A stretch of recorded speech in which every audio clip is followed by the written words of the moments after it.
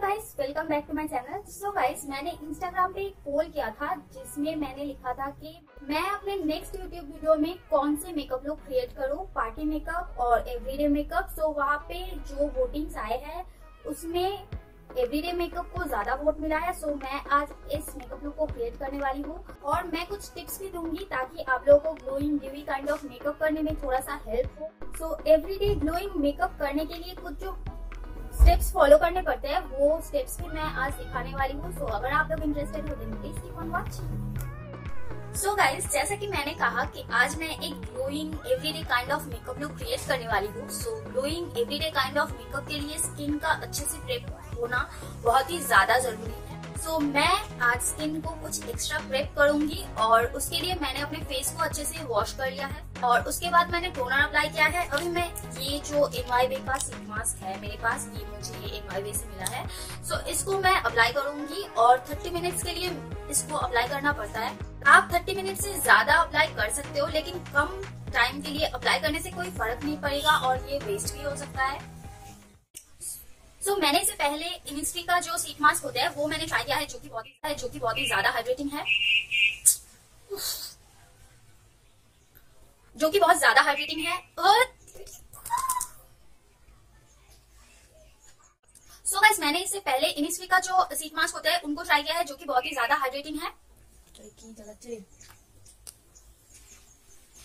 जो कि बहुत ही ज़्यादा हाइड्रेटिंग बट मैंने पर्पल से कोई भी शीट मास्क अभी तक ट्राई नहीं किया है एनवाईबी का भी नहीं किया है। आज फ़र्स्ट टाइम मैं इसे ट्राई करने वाली हूँ।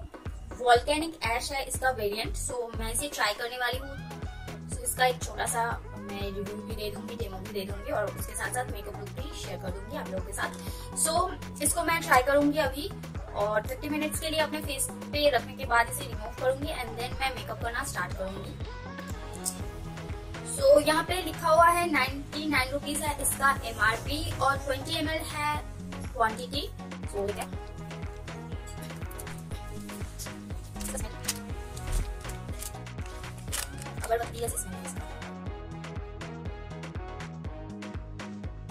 मास्क जो होता है वो मेरे फेस से हमेशा ही बड़ा हो जाता है थोड़ा सा।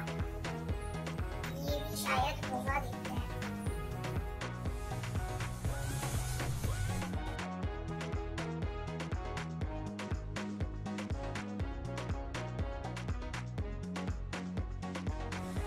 अभी मैं इसे रिमूव करने वाली हूँ।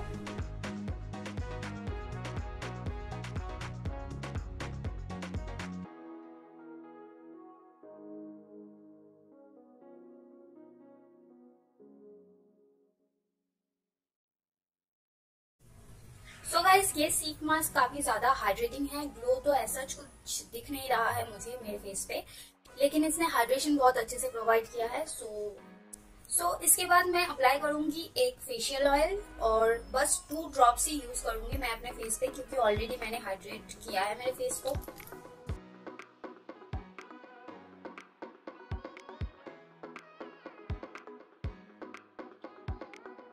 सो so, मैं इसे अपने फेस पे फाइव मिनट्स तक अब्जॉर्व होने दूँगी और उसके बाद मैं बाकी का मेकअप करूँगी लाइक प्राइमर अप्लाई करूँगी। सो so, मैं यहाँ पे यूज़ कर रही हूँ लोटस का इकोस्टिप लोटस का इकोस्टिप प्राइमर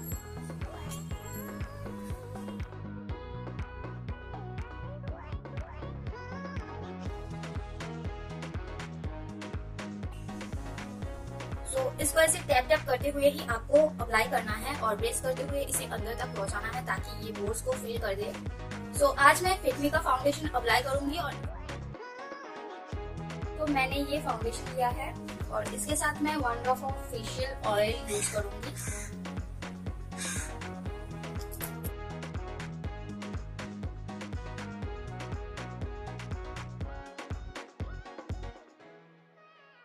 ये अभी मेरी स्किन टोन से थोड़ा सा लाइट दिख रहा होगा लेकिन ये ऑक्सीडाइज होकर मेरे स्किन टोन मेरे स्किन टोन का हो जाएगा क्योंकि फिटमी का फाउंडेशन ऑक्सीडाइज होता ही है।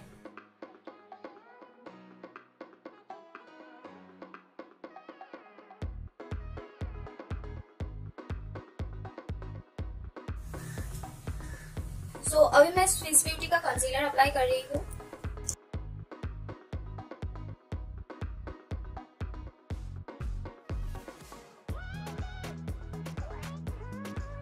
इस कंसीलर में थोड़ा सा येलो अंडरटोन है, जो कि जो कि आपके फेस के जो डलनेस है और जो अंडर आई की डलनेस है, उसको दूर करने में मदद करता है।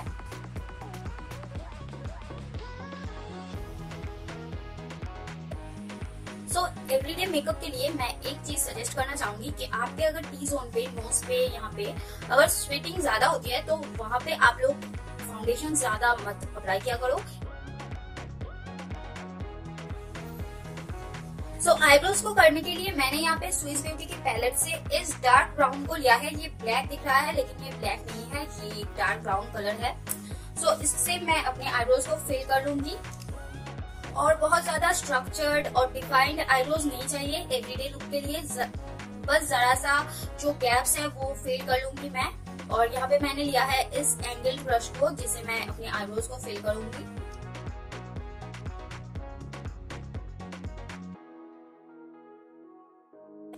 आप लोग देख सकते हो दोनों आईब्रोज में डिफरेंस क्या है। मतलब बहुत ज़्यादा स्ट्रक्चर्ड आईब्रोज नहीं है, लेकिन थोड़ा सा ये थिक और थोड़ा सा फुलर दिख रहा है इस आईब्रो से। सो इसको भी मैं कर लेती हूँ। सो so, अभी मैं पहले कॉन्ट्रोलिंग कर लूँगी एंड उसके बाद मेरे फेस को लूज पाउडर से सेट करूँगी उससे थोड़ा सा स्ट्रक्चर दिखता है और आज मैं ज़्यादा कॉन्टोरिंग नहीं करूँगी क्योंकि ये एवरीडे काइंड ऑफ़ लुक है सो सॉफ्ट कॉन्टोरिंग करूँगी। उसके लिए मैं यहाँ पे यूज़ कर रही हूँ एनवाईबे का कॉन्टोर स्टिक मैं सिर्फ़ यहाँ पे कॉन्ट्रोलिंग करूँगी थोड़ा सा यहाँ पे यहाँ पे। यहाँ तक नहीं लाना है कॉन्ट्रोलिंग को।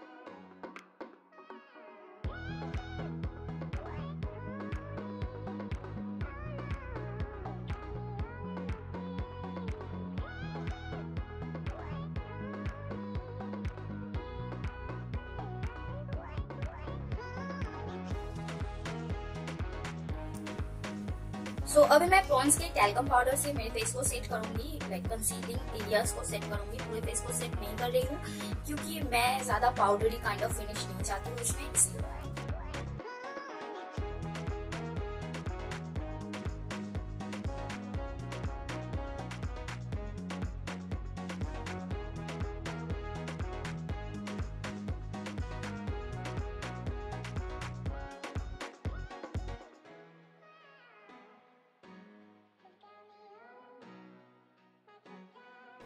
सो so, अभी मैं अपने फेस पे यूज़ कर रही हूँ गुड वाइब्स का rose glow toner as a setting spray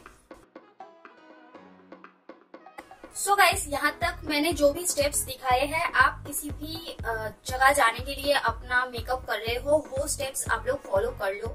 so so, इसके बाद मैं थोड़ा सा ब्लश अप्लाई करूँगी। सो so, मेरा जो ब्लश है वो टूट गया है। सो so, मैंने इसे पार्ट पार्ट करके यहाँ पे रखा हुआ है। वैसे ये सिवाना का ब्लश पैलेट है। सो ये दो पिंक ब्लशेस है। ये एक डीप डार्कर पिंक है और ये थोड़ा सा लाइटर पिंक है। सो इन दोनों को मिक्स करते हुए मैं अप्लाई कर रही हूँ। तो अभी अगर आप ऑफ़िस के लिए मेकअप कर रहे हो या कॉलेज के लिए मेकअप कर रहे हो प्लस आप सिर्फ़ इस एरिया पे अप्लाई करना और अगर आप कैजुअल कहीं आउटिंग के लिए जा रहे हो फ्रेंड से मिलने जा रहे हो या कुछ तो आप यहाँ पे भी अप्लाई कर सकते हो।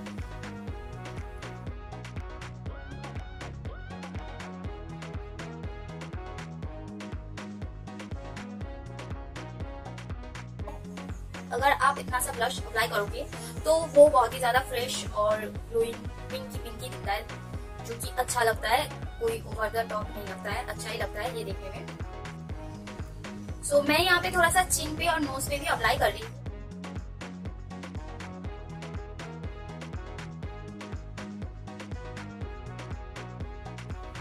सो so, अभी मैं आई मेकअप करने वाली हूँ और आईज के लिए भी एक हल्का सा पिंक कलर ही मैं यूज़ करने वाली हूँ, क्योंकि वो थोड़ा सा नेचुरल लगता है देखने में। सो यू कैन अप्लाई इधर दिस कलर या ये ये ये ये सब कलर्स आप यूज़ कर सकते हो। लेकिन मैं थोड़ा सा pinkish kind of colour use करने वाली हूँ। इस पिंक कलर को और उसके साथ इसको थोड़ा सा और इसको मिक्स करते हुए अप्लाई करूँगी ताकि वो थोड़ा सा लाइटर पिंक दिखे।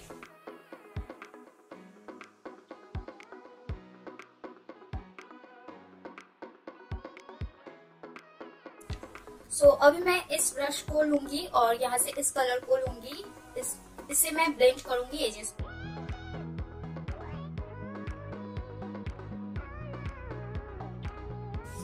सो मैं उसी पिंक कलर को अप्लाई कर रही हूँ लोअर लैश लाइन पे भी।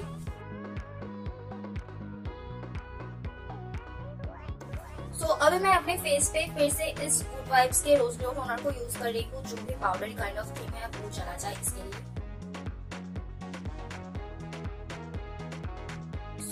आप लोग देख सकते हो इस ग्लो टोनर को यूज़ करते ही फेस कितना ज़्यादा ग्लोइंग दिख रही है।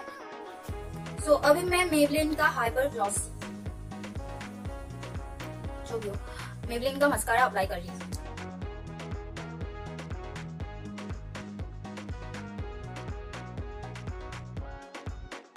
अभी मैं हाइलाइटर अप्लाई करने वाली हूँ।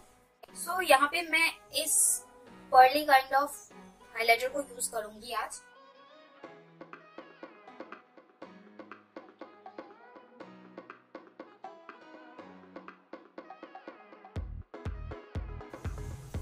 अभी मैं लिपस्टिक के लिए इन दो लिपस्टिक को यूज़ करूँगी। यहाँ पे है एलेक्टिन कलर बॉक का मैट लिपस्टिक इसका कलर थोड़ा सा ऐसा नियोनिश पिंक काइंड ऑफ़ है। और उसके ऊपर मैं यूज़ करूँगी इनवाइवे का आमंड ऑयल इन्फ्यूज लिपस्टिक जिसका कलर थोड़ा सा न्यून है।